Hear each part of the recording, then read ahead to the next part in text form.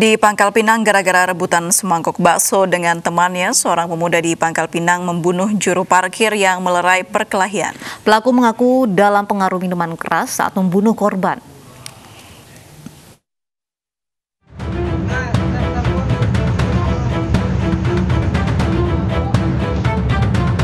Seorang pemuda di Pangkal Pinang, Bangka Belitung tidak bisa melawat saat ditangkap polisi.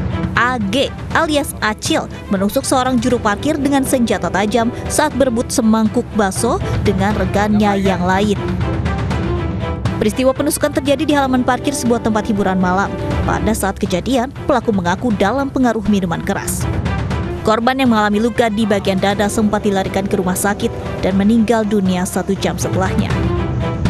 Pas si Haris bawa baksonya, saya minta, Hmm. minta. Tapi teman saya itu tahu kalau baksonya diambil sama saya juga nggak apa-apa. Ah, Ya.